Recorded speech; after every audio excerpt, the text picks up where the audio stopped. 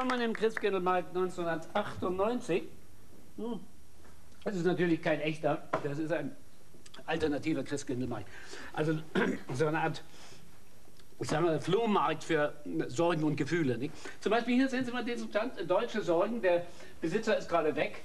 Äh, das war ein Missverständnis, da kam ein Amerikaner reingerannt und hat gesagt, eure Sorgen möchte ich haben. Und das muss ich meine, muss man ja auch sehen. Ne? Die Amerikaner, die sagen, da gibt es ja zwei Meinungen. Die einen sagen, jetzt haben wir einen Kapitän, da an der Spitze, also so einen Präsidenten. Und wenn der Schwierigkeiten mit seinen Triebwerken hat, ne? dann lässt er Bomben über Bagdad fallen. Ne? Das hat nicht jeder. Ne? Klar, kommt nicht jeder raus. Und die anderen sagen, das habe ich bei dem Fernsehen gestern Abend gesehen. Die Bilder kamen mir so bekannt vor. Das war eine Aufzeichnung vom vorhin mal. Also ich, das kann nicht in Ordnung sein. Das glaube ich nicht. nicht das, ist, das war vielleicht damals schon eine Fernsehaufzeichnung. Ich kann es mir nicht anders vorstellen. Also der kam jedenfalls hier, hat geschrien, eure Säulen möchte ich haben. Und da hat er gedacht, er will das kaufen und ist ihm hinterher und will jetzt den Scheck abholen. Es ist, wie gesagt, ein Missverständnis. Naja, warum soll man unsere Sorgen nicht globalisieren? Warum nicht? Ne? Wie die Amerikaner. Einfach globalisieren. Ich meine, unsere Sorgen haben ja äh, Konjunktur. Ja, ich habe mir zum Beispiel früher immer gedacht, ist mir völlig egal, ob ich nur ein Deutscher bin oder irgendwas anderes. Ne? Äh, war reiner Zufall, meine Eltern. Ne? Ohne meine Eltern wäre ich glatt Engländer geworden. Ne? Ja, und dann hätten sie mich an der Falklandinsel erschossen, also bin ich doch lieber Deutscher. Obwohl ich, obwohl ich natürlich äh, Schwierigkeiten jetzt habe. Die Deutschen haben wieder, moralisch gesehen, sind sie schon wieder tief in der Talsohle, tief im Tal, im Walsertal, ist mir so rausgerutscht. Ist mir so rausgerutscht. Wissen Sie, es ist so, der kommt mir etwas, äh, früher kam er mir größer vor, der Walser. Er ist irgendwie geschrumpft. Aber naja, ich sehe das ja auch ein, alle, die sich jetzt so um die Bewältigung äh, streiten, erbittert streiten, das sind ja alles 27er, genau 27er, die sind alles 27er. Luftwaffenhelfer, nicht? Sind, äh, ist die Flakhelfer-Generation. Und wir haben alle immer ein bisschen zu nahe an der Kanone gestanden. Wir haben irgendwie Hörschwierigkeiten. Ja, ja, das ist also...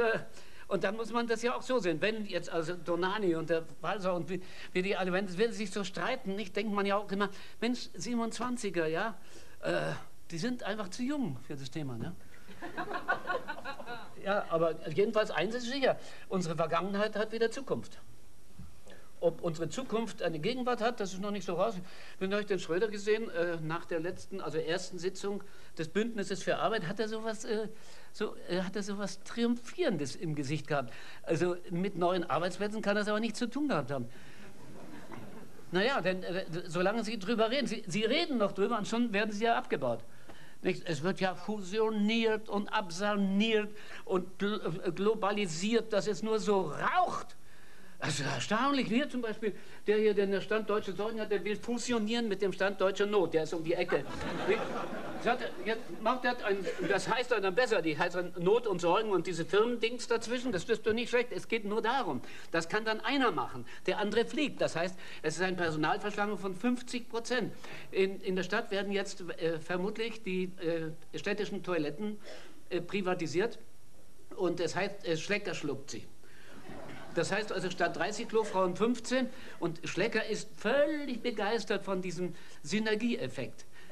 Ja, ja, also es wird geschluckt und geschrappt und geschmust. Die Deutsche Bank heiratet jetzt zum Beispiel den amerikanischen äh, Bank Trust, Banking Trust und hat auch eine Mitgift, nämlich den totalen Know-how über das Investmentbanking. Ja, also es sind schon Kinder unterwegs. Naja, und, und so geht das weiter. Zum Beispiel äh, Exxon und, und Mobil Oil schmeißen ihre Kohlen zusammen. Äh, die äh, Höchst zum Beispiel ist ab sofort äh, unter einer Decke mit, äh, äh, mit, der, mit der Schweizer Firma, nicht? Allo Swiss, ne? und die fragen sich jetzt, ziehen wir zu mir oder ziehen wir zu dir? Ne? Wo werden sie hinziehen? Ne? Da, zu den, zu den Franken auf den Schweizer Banken, ist doch ganz klar. Und Daimler und Chrysler unterhalten sich gerade darüber, wo sie, wo sie gemeinsam ihre Steuern hinterziehen wollen. Ja, und, die, und, die, und die Hypobank und die Vereinsbank und, ja, und äh, Holzbrink wird demnächst wahrscheinlich American Food Company schlucken. Das ist ein Gerücht von mir, aber das kommt ja. Das,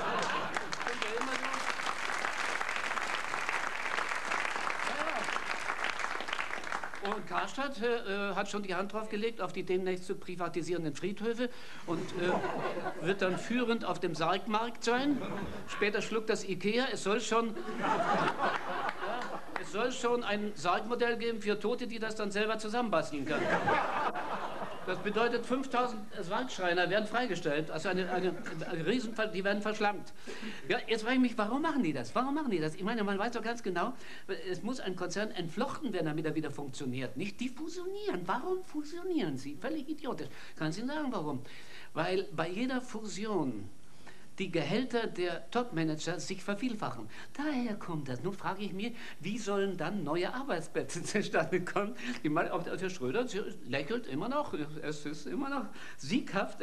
Er muss da sich äh, also vorsehen, weil das war dann bei dem Kohl auch so. Ne? Das, äh, das Lachen wird dann chronisch und dann. Ne?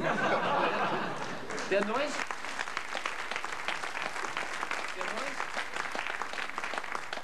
Der Neuss hat einmal drohend gesagt, ich bin der, vor dem meine Eltern mich immer gewarnt haben.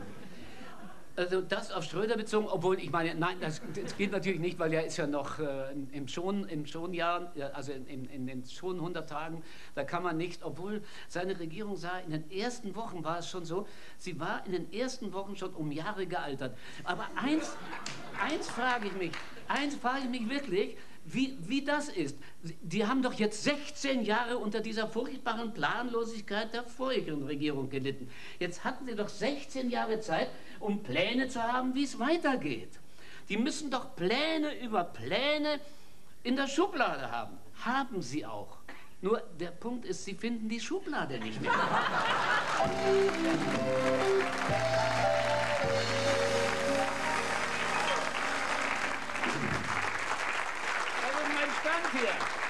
Super, hast dann lieber. Ich sage aber, Weihnachten ist einmal was anderes. Ja. ja. Dieter, Prost. Ja, Prost. Mhm. Also, sag mal, ich habe so den Eindruck, dir geht's gut. Mir geht's prima, ja? Bis auf die Probleme zu Hause. Oh, du auch? Hm? Ja, das gibt's jetzt öfter, das stimmt schon. Aber da darf ich mir nichts daraus machen, das man muss es nehmen, wie es kommt, aber dass du Probleme zu Hause hast, überrascht mich schon, weil du bist ja kaum daheim. Ja, ja, das ist ja das Problem. Und wenn ich ab und zu mal zu Hause bin, dann will ich hin und wieder mal auch ins Bad. Ach so, oh, das kenne ich von meinen Kindern. Ja. Mhm. Weißt, es gibt Bader und Nicht-Bader. Ähm, äh, da da gibt es übrigens eine, eine ganz eine tolle soziokulturelle Untersuchung, äh, das Phänomen der Nasszelle. Du, das wäre vielleicht noch ein Weihnachtsgeschenk für deine Frau. Es ist interessant, es gibt Bader, Nicht-Bader und Duscher, die in der Badewanne duschen. Da haben sie den Vorhang mit drin, dann spritzt wie die Sau, schwimmt alles. Es gibt diese Beziehungsprobleme, die. Ich, äh, das ist ja hochinteressant. Ich habe keine Beziehungsprobleme. Schade. Ich, ich meine, ich wollte ja nur eine Anregung geben. Sag mal, was ist denn los? Ich hab die, da ist Zunder drin bei uns, oder? Sag mal, suchst du Streit? Ich suche nur einen Handwerker, der mein Bad neu fließt. Aber an mich denkst du dabei nein, nicht? Nein, nein, nein. Soll ja nachher schöner sein als vorher. Ich habe, ich habe mich schon gewendet an einen alteingesessenen Handwerksbetrieb. Das sind die Besten, die Alteingesessenen. Ja, ja, ja, ja, ja. Der, der, drüben, der, der, der ist ein, ein netter Mann, ja. ja wie heißt der? Der Fliesenklopfer. Der, der Fliesenbaumann. Mhm, kenn ich. Ja, habe ich gefragt, soll mir mal ein Angebot machen. Da hat er gelacht. Wieso? Warst witzig? Nein, nein, nein, nein. Er hat gefragt, äh, mit oder ohne. Ja, so wie ich weiß, trinkst du in Schwarz. Wieso bietet dir der am Telefon einen Kaffee an? Verstehe nicht. Rechnung. Der hat mich gefragt, Rechnung? Kommt eine Rechnung oder nicht? Das ist ja wirklich eine blöde Frage, weil du brauchst ja keine Rechnung. Was? Ich meine, ist es vielleicht ein Arbeitsbadezimmer oder was? Ja, ja. Ich bin kein Arbeitsbader, verstehst du? Ich benötige mein Bad lediglich äh, für, für, für körperhygienische Maßnahmen. Steuerlich völlig irrelevant, Körperhygiene. Das, äh, du, an Sauberkeit sind die überhaupt nicht interessiert. Wenn du einen Puff hättest, ja. Und du würdest dann, die, die Renovierungskosten, die könntest du dann von der Steuer absetzen. Ich habe keinen Puff, verstehst du? Ich suche nur einen ordentlichen Handwerker, der mein Bad neu und ordentlich fließt. Man soll die Leute nicht überfordern. Was? Das Beste wäre, ruf doch den einfach an, den Fliesenklopfer da und sag ihm, er kann es ohne Rechnung machen, dann ist es billiger für dich. Das geht doch nicht, das ist schwarz. So verboten. Das ist verboten. Ist ja witzig. Wieso machen es dann alle? Ja, weil seit einer gewissen Zeit in diesem Lande das Gerechtigkeitsgefühl äh, baden gegangen ist. Das denke ich mir auch genau. Die Leute haben das Gefühl, dass ihnen zu wenig bleibt. Jetzt habe ich eine Idee. Nimm doch einfach einen Arbeitslosen. Hm? Du, der hat Zeit und sagst ihm, kriegst die Kohle so und dann morgen Abend hast du ein frisch gefließtes Bad. Wird ja immer schlimmer. Das ist, das ist doch wieder Schwarzarbeit. Ja, aber der könnte vielleicht brauchen, der Arbeitslose, verstehst? Dann ist es sozial. Ja, sozial. Das geht doch nicht. Schau mal, der, der verdient sein Arbeitslosengeld und zusätzlich arbeitet er noch schwarz. Das ist ja doppelter Beschiss. Es kommt darauf an, wie man es nimmt. Weil das Geld, das er kriegt als Arbeitsloser, das hat er ja vorher einbezahlt. Das ist ja quasi seine Kohle. Und jetzt kriegt er dann nur einen Rest, äh, Teilbetrag wieder zurück. Äh, ich meine, ist das vielleicht kein Beschiss? Nein, das, das ist Solidarität mit unserem Finanzminister. Ich meine, durch Schwarzarbeit entstehen doch wieder neue Lücken und Löcher in, in, in Lafontaines Haushalt. Ja. Nicht? Also die müssen doch dann alle wieder gegenfinanziert werden. Ja, es kommt darauf an, wie man es nimmt. Bitte? Ja, schau, weil das Schwarzgeld, das fließt ja gleich wieder in den Wirtschaftskreislauf zurück. Also ja, das stimmt. Ja, ja, der, der, über die Bank geht es ja nicht, über das Konto darf es ja nicht laufen lassen. Das heißt, man muss verbrauchen. Ja, genau, er konsumiert. Ja, konsumiert. Dann passiert genau das, was sich der Oscar immer vorstellt. Die Binnennachfrage wird belebt. Und dann. Jetzt, äh, dann entstehen Arbeitsplätze. Ja, jetzt verstehe ich, wie das gemeint war. Was, was war, was war, wo, wann, wie gemeint? Ich habe neulich gelesen, dass äh, die Steuerreform die Schwarzarbeit begünstigt. Das war gar keine Warnung, das war ein Wunsch. Ich sag ja, es kommt darauf an, wie man es nimmt.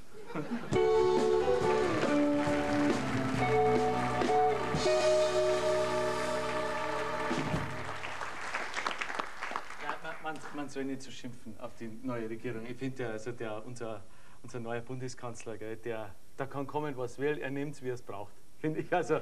Nein, er ist, er ist flexibel. Ne? Was mir an ihm so gut gefällt, ist, dass er nicht so an seiner Meinung hängt. Also, ja, er sagt gerne mal. Ja, er, er, er, sagt, er sagt ja immer, er sagt, ich sag jetzt mal das so ähm, und dazu stehe ich sagt er. Ne? Nachhaltig. Na, also ich drehe ja oft einen Ton weg, wenn er kommt. Das, das, müssen wir probieren, einfach einen Ton weg. Denn mich interessieren die nonverbalen Signale wesentlich mehr. Also was da so nonverbal rüberkommt, während er spricht. Das, was er sagt, da denke ich mir, ach, das reicht, wenn ich das, das nächste Mal wieder höre. Aber das, was er so dabei tut, ne? also äh, eine tolle Rede, die beste Rede, es sind in diesem Jahr wirklich jede Menge Reden gehalten worden, aber die beste, finde ich, die hat er gehalten. Die, die, Regierungserklärung, die hat er doch vorher erklärt, die Regierung. Ne? Und ähm, habe ich einen Ton weggedreht. Es war ein rhetorisches Feuerwerk, also er hat so ein so ein kleines Tischfeuerwerk war es, ein bisschen so. Es ist nicht viel abgegangen, kleine Gaudi zwischendurch halt so, gell? also Kontinuität halt. Gell? Er ist immer so, so ist er am Pult gestanden, ich habe beobachtet so und dann hat er das Manuskript immer so zusammengeschoben, immer so, von oben nach unten, von links nach rechts. Ich denke mal, was macht er denn da? Das ist die neue Mitte.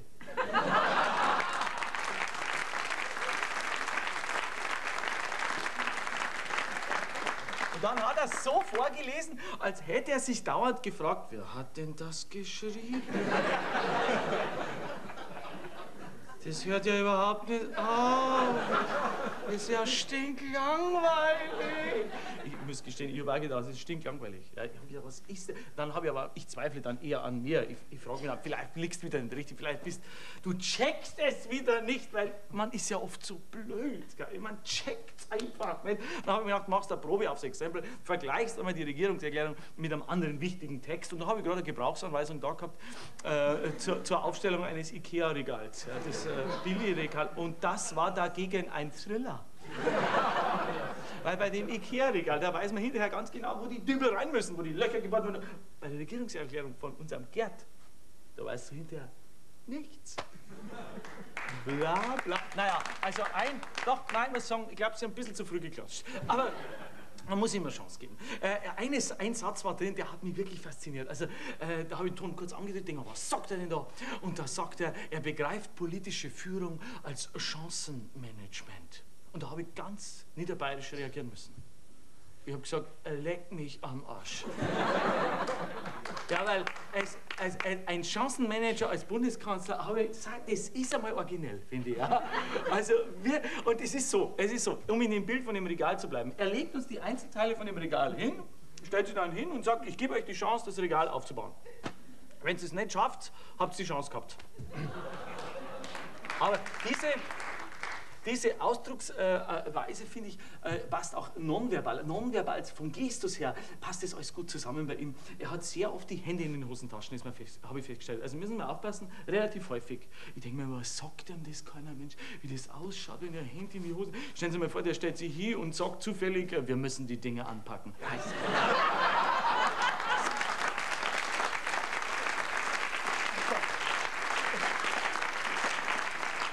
Aber jetzt, jetzt haben Sie ihm schon gesagt, du, tu die Hände aus die Hosentaschen. Das steht oft zu, da. Steht oft zu. Aber er, was mir gut gefällt, ist sein Gang. Er hat einen tollen Gang. Er macht ein bisschen große Schritte. Äh, er fällt ein bisschen aus, der Schritt. Der, groß, äh, der Schritt fällt groß. Also, ja, mein, äh, auf seine Körpergröße macht er ein bisschen zu große Schritte, finde ich. Gell? Und dann die Hände werden so. Das ist witzig, ganz locker heute. Gefällt mir. Oder Hände in den Noten. Äh, Im Gegensatz, das wirkt so locker, aber im Gegensatz zum Oscar Lafontaine, den habe ich auch beobachtet, nonverbal, er ist im Schultergürtel ganz steif, er ist unheimlich verspannt, da ist klar, es haben ihm so viele aufgelegt, er steht immer so da, die Nase ist noch oben, er steht immer so da, hat ihm alles aufgelegt, da geht das Finanzministerium ist neu zugeschnitten, dem Wirtschaftsministerium noch was raus, auf dem Technologieministerium, Verkehrsministerium, alles. Boah, ist der geil. Und er will die Weltwirtschaft neu ordnen. Ich habe ich hab mir gedacht, endlich mal äh, jemand, der sich realistische Ziele setzt. Also, das, äh, nein, er muss es nicht alleine machen, seine Frau hilft ihm dabei, aber trotzdem, es ist ja doch. Also, sehr gut, finde ich. Was er, was er super gemacht hat, ist, er ist als erstes dann zum Tietmeier gefahren, hat dem das mit dem Geld einmal erklärt. Und äh, der hat gesagt, aha, so ist das, ja natürlich. Und er hat gesagt, Oskar, du, wenn du Probleme hast, kannst du mich wieder anrufen. Gell? Nein, der Oskar wollte, dass die Zinsen äh, runtergesetzt werden. Hat er dann auch runtergesetzt, ein bisschen, haben sie es aber nicht auf seinen Anraten hin, haben sie gesagt, sondern naja, die Zinsen müssen runter, weil das Geld muss billiger werden und er muss ja neu finanzieren, Bundeshaushalt, Netto-Kreditaufnahme, das kostet Vergeid. Ne? Und wenn die Zinsen sind, kostet es nicht so viel. Also ich am Oscar seiner Stelle, ich würde sagen, pass mal auf, Tietmeier, jetzt pass mal auf. Ja. Lass deine Zinsen, wo du magst. Ich hol mir das Geld im Ausland. In Japan, da liegen die Zinsen bei 0,08 Prozent. Da würde ich den gesamten Bundeshaushalt finanzieren. Ja, und da werden die Renten in Yen ausbezahlt. Unser Geld legen wir festgeldmäßig zu 3% an, dann sparen wir nur 2%. Es, es könnte so einfach sein. Gell? Es ist einfach, aber na, da habe ich eigentlich mit einem Applaus gerechnet, aber wir haben da.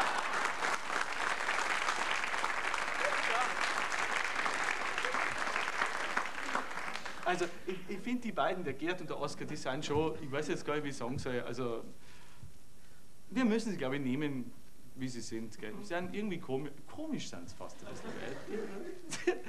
Der Dicke war schon komisch, finde ich. Gell? Aber die zwei haben mehr Potenzial. Also da ist ja, die sind ausbaufähig. Aber ich weiß nicht, ob ich mich dann nicht schwarz ärgern muss.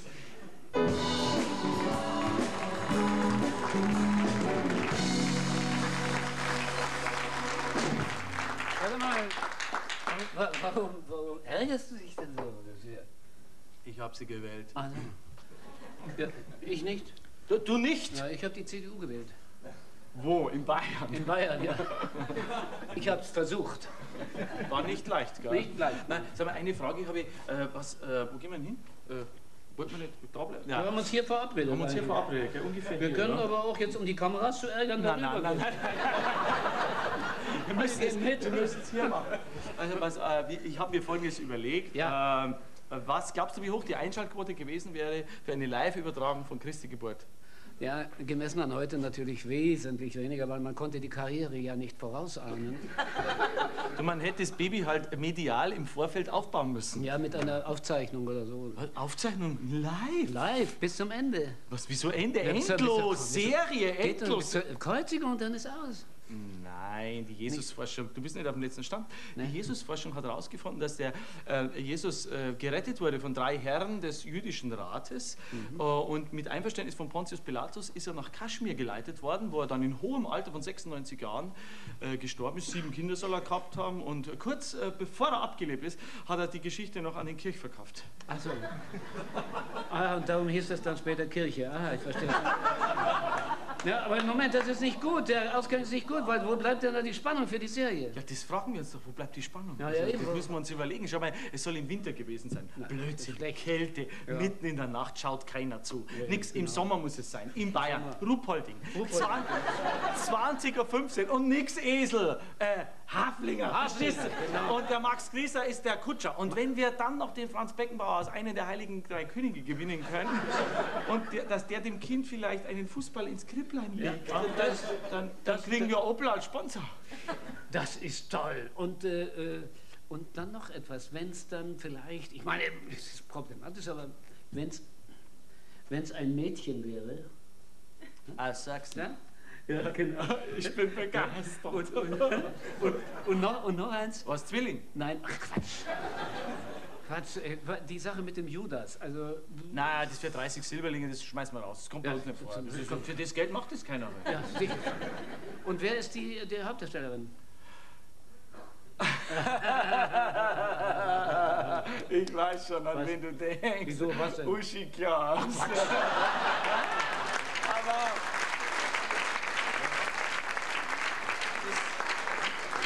das, nicht gut. Obwohl, weißt du, mit ihr, die hebt ja jede Einschaltquote über 7 Millionen. Ja, ja, das ist wahr. Ja. Mit der Uschi, da machen wir eine 10-Jahres-Serie draus. 10 Jahre lang. Nee, das, der endet ja dann am Kreuz. Nein, das geht ja nicht. Ein Golgatha, Gol, Golgotha. Ich hätte ihn, Golgatha. ich hätte ihn äh, Glühwein nicht trinken sollen. Gol, Golgotha, ja, das ist doch ein Quotenkiller. Nein, nein, das geht nicht. Nicht. Nein. Aha. Und wo, wo, wo, wo, wo, wo bleibt die Message? Message. Message. Ja, das kann ich sagen.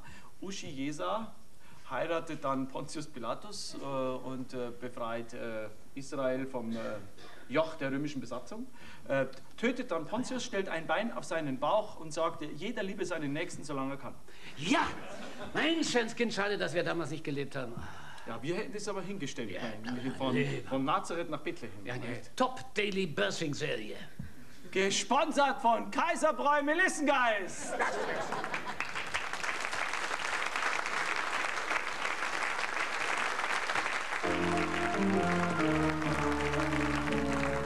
Jingle Bells und Glöckchen klingeln, Weihnachtsgans und Zuckerguss, Stille Nacht und Butterkringel, Stille Nacht und Pfeffernuss. Glühwein, Punsch und Jagertee sind mir schon zuwider. Weihnachtsmarkt, Jemini, und Jahre wieder. Engel sein, ich müsste lügen, wenn ich sag, wär's gern. Engel sein ist kein Vergnügen, sowas liegt uns Engeln fern. Mm. Begonnen habe ich als Schutzengel Azubi. Bei einem extrem äh, überforderten Bubi Montessori verzogen, anti-autoritär. Und heute ist er DVU-Funktionär. Und bei Hennes und Mauritz Krawattenverkäufer. Dann wurde ich Schutzengel bei einem Säufer. Dabei trank ich mir meine Leber zu Schanden, weil das mit dem Schutz habe ich missverstanden. Nur um ihn zu schützen, ich sage das jetzt ganz offen, habe ich ihm seinen Schnaps weggesoffen. Und mit lästigen 1,7 Promillen waren meine Flügel mir nicht mehr zu willen. Da gerät man natürlich in die Kritik und dann heißt Engele, Engele, Engele, flieg! Ah! Das gibt's doch gar nicht. Nikolaus und Butterprinten, Dresdner Stollen und Aachener Krausch, Dresdner Stollen und Korinthen, Weihnachtsstern und Pfeffernuss.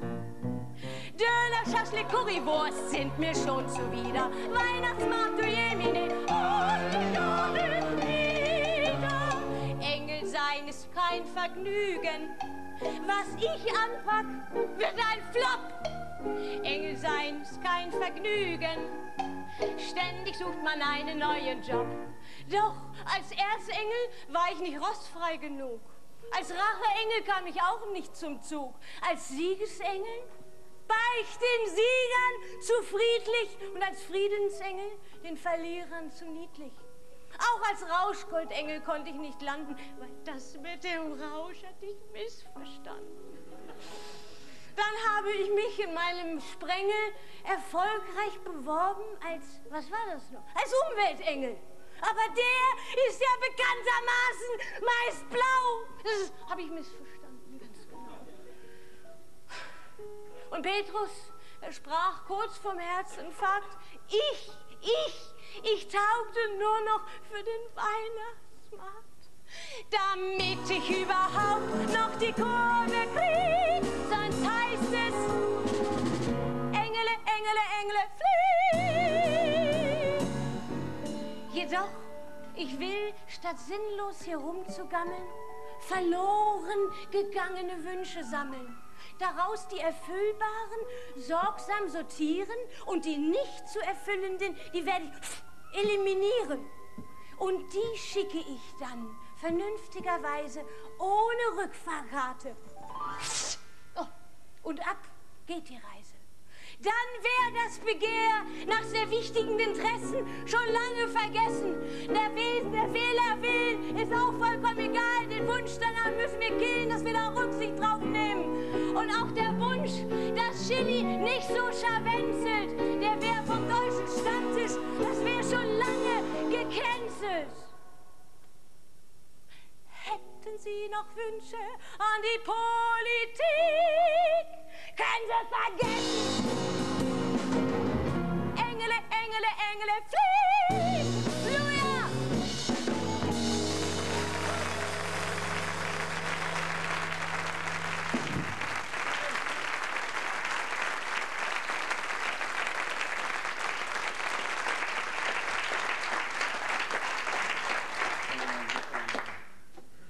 Dieter, ich, ich, weiß nicht, aber du siehst so aus, als hättest du was. Was soll ich haben? Ja, ich weiß es nicht. Ich, ich habe nichts. Aber ich, mit dir ist doch was. Es ist nichts und ich habe nichts.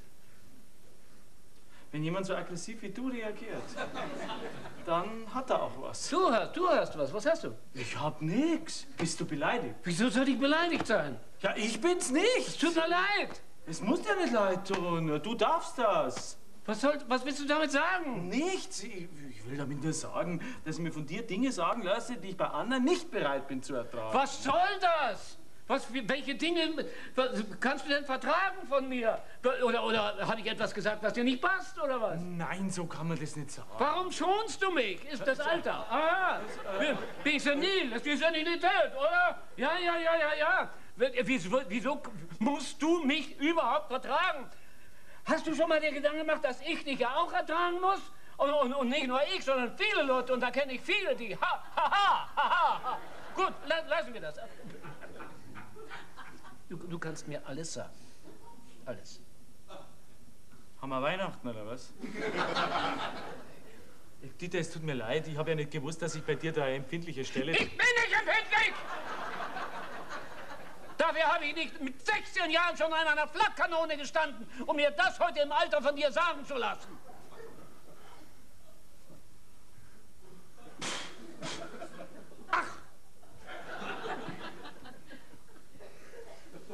Äh, Dieter, pass auf. Wa- wa- Was hältst du davon, äh, wenn wir, also vielleicht sollten wir unser Gespräch nicht hier in, in aller Öffentlichkeit, vielleicht könnten wir unseren geistigen Austausch äh, vielleicht in Briefform in der FAZ.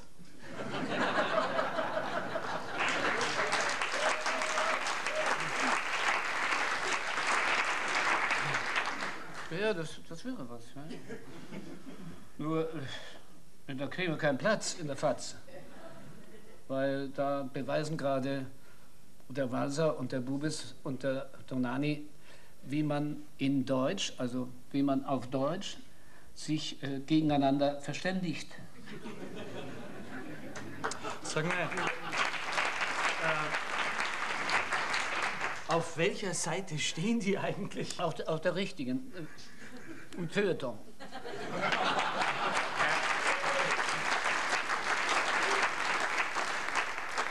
Sie, Sie meinen alle auf der richtigen Seite zu stehen. Ja, ja, der, also der Bubis auf jeden Fall und, und der Donani auch und äh, wahrscheinlich Walzer. auch der Walser. nicht? Wahrscheinlich Ja, ja. auch. Sie meinen es alle gut. Gut, Ja. ja. nur der Bubis findet nicht gut, was der Walzer gesagt hat und der Donani, der findet nicht gut, was der Bubis über den Walzer gesagt hat. Der Donani meint, dass der Bubis den Walser nicht verstanden hat, also falsch. Wieso? Ja, schau, schau. Der, der, der, der, der Bubis äh, meint, dass, er, er sagt es jedenfalls, dass bei dem Walser zwischen den Zeilen, dass er da Antisemitismus spürt. Zwischen den Zeilen, wie ist er denn da reingekommen? Ich meine, in den Zeilen beim Walzer, äh, der Walzer nimmt nämlich in den Zeilen eindeutig Stellung gegen den Antisemitismus. Ja, ja, der Walser hat mit dem Kopf gesprochen und der Bubis hat mit dem Bauch zugehört. ja.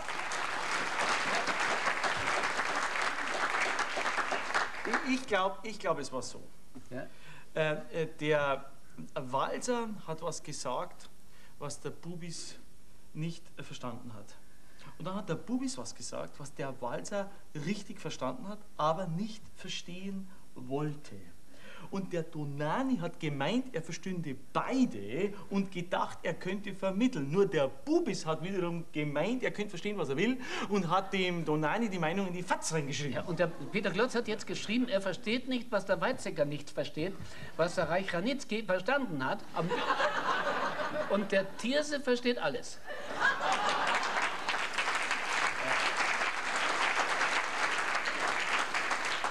Weißt du, Dieter, wer für mich bisher den klügsten Beitrag in die Debatte geworfen hat? Wer? Der Steinscheißer Karl. Steinscheißer Karl! Das glaube ich überhaupt nicht. Ich habe ja gesagt, er hat was.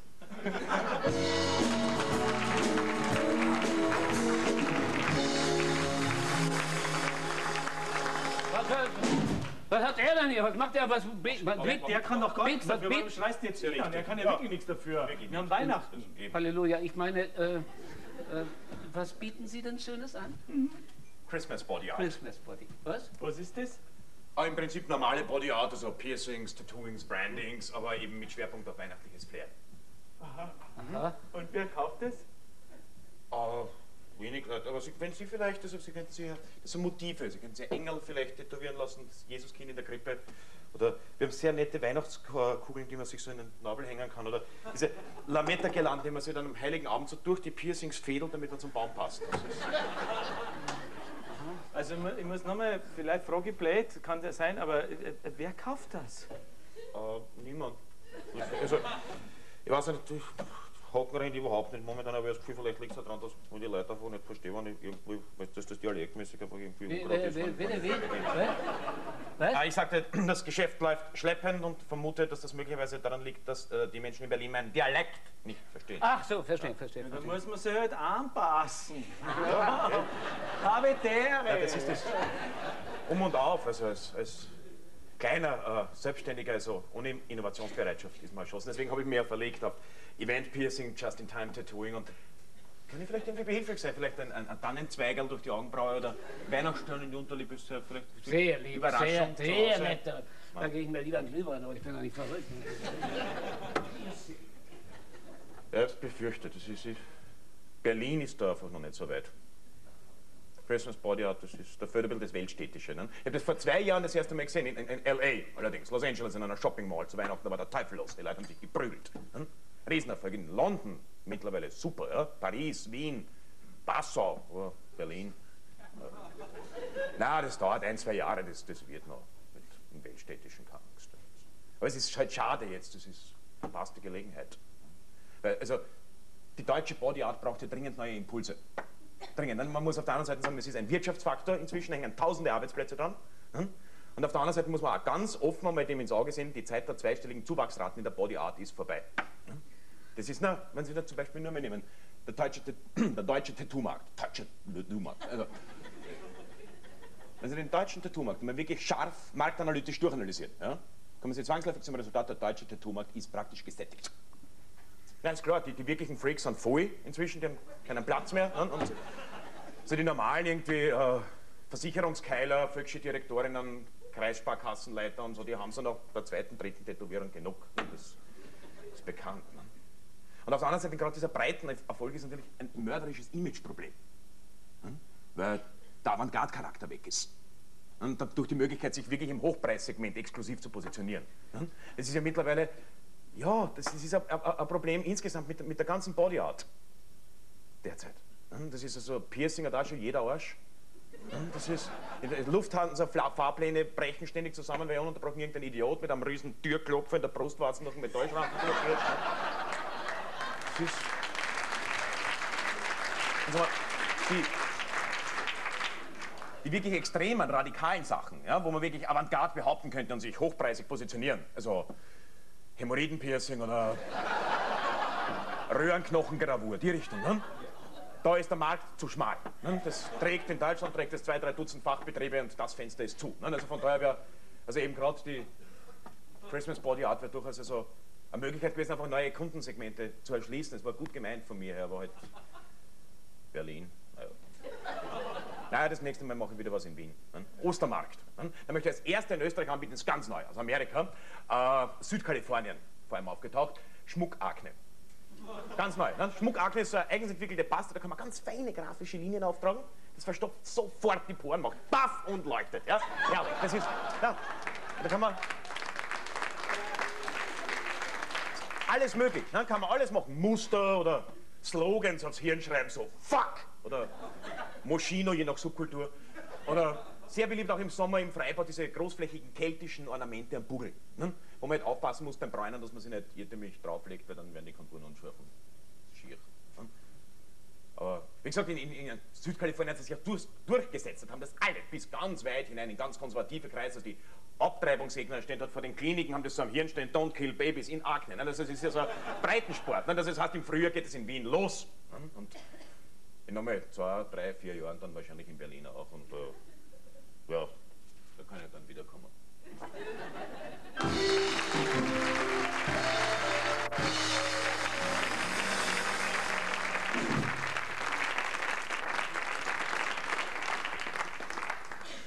Peter, sind wir wieder gut? Was sind wir? Hm. Also das mit dem Gut. Steinscheißer das werde ich dir nie verzeihen. Das ist mir klar. Das ist klar. Ja, ich, ich Wenn, auch, wenn noch den niemand kennt, das ist ein, das ist ein Tiroler Weihnachtsgeist aus den österreichischen Kalkalpen. Wird immer nur beschworen vor Kennern, aber du hast mich jetzt vor, vor Nichtkennern. Also das finde ich ja unglaublich. Es tut mir leid, Tito. Also ich möchte dich fragen, sind wir wieder gut? Ja, was, sag mal, habe ich dich schon wieder zurückgefragt und da hast du, und sage ich dir, waren wir schlecht oder was? Nein, nein. Also. Du, ich frage mich nur, jetzt mal ernsthaft, ich frage mich wirklich, warum die drei, der Bubis, der Walz und wie sie alle heißen, warum die sich nicht gegenseitig verständigen können. Die sprechen doch alle Deutsch. Ja, da könnte eine Ursache vergraben sein. Da könnte sie vergraben sein.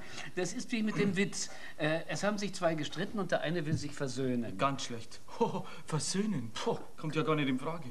Kann ich jetzt, darf ich jetzt den Witz erzählen, ja? Ja, gleich, aber mit dem Versöhnen, du, das ist ja, das wäre ja quasi, das wäre ja, das wäre ja die Eskalation schlechthin. Das ist ja quasi der kommunikative GAU. Sag mal, hast du zu viel Glühwein erwischt oder was? Bestimmt, ich stehe unter Zucker. Also. Wieso bist du gegen die Versöhnung? Weil die Versöhnung die Voraussetzung für einen erneuten Streit wäre. Der, der Bubis weiß das nicht, der ist ja clever, verstehst du?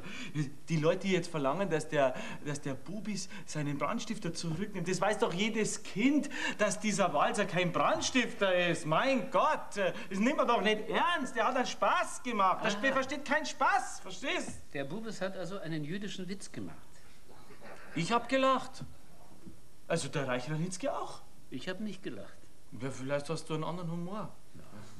Du wolltest ja gerade einen Witz erzählen. Erzähl mir, dann werden wir gleich sehen. Ich weiß nicht, ob du darüber lachen kannst. Ja, wenn er witzig ist, kann ich darüber lachen.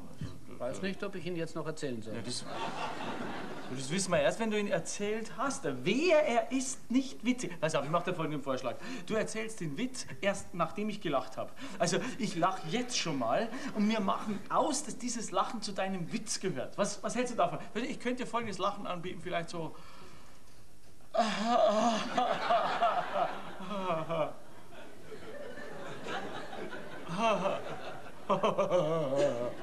Wir sind von. Hast du noch ein anderes drauf?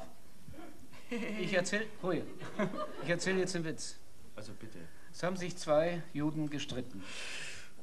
Bitte, was ist? Was Das ich kann, was man falsch falsch, das kann man doch falsch verstehen. Entschuldigung, Ja, das kann man ja. uns doch als Antisemitismus auslegen. Ich bin Was? da jetzt sehr hellhörig geworden. Wäre es nicht besser, wenn du vielleicht schnell den Bubis anrufst und fragst, ob er nicht den Witz freigeben kann? Verstehst du? Dann, dann wären wir.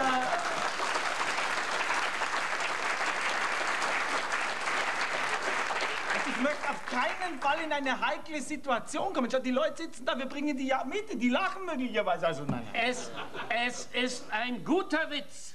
Also bitte dann erzählen. Bitte? Bitte? Okay. Zwei Juden haben sich gestritten. Du, du, das Beste, das Beste wäre, wenn du sagen würdest, zwei jüdische Mitbürger. Vielleicht. Oder, oder sagen, noch schöner, noch schöner wäre, äh, zwei, zwei Juden, äh, nein, zwei Menschen mosaischen Glaubens. Am besten wäre natürlich, äh, also damit wäre man auf der sicheren Seite, ja, wenn du sagen würdest, zwei Menschen. Das ist ein Witz. Bitte dann erzähl ihn, aber ich sage hinterher nicht, ich hätte dich nicht gewarnt. Gut, Hey? Ich erzähle, ich erzähle. Ich erzähle. Zwei, zwei Juden haben sich gestritten und der eine will sich versöhnen, reicht dem anderen die Hand und sagt, ich wünsche dir alles, was du mir auch wünschst. Sagt der andere, fängst du schon wieder an.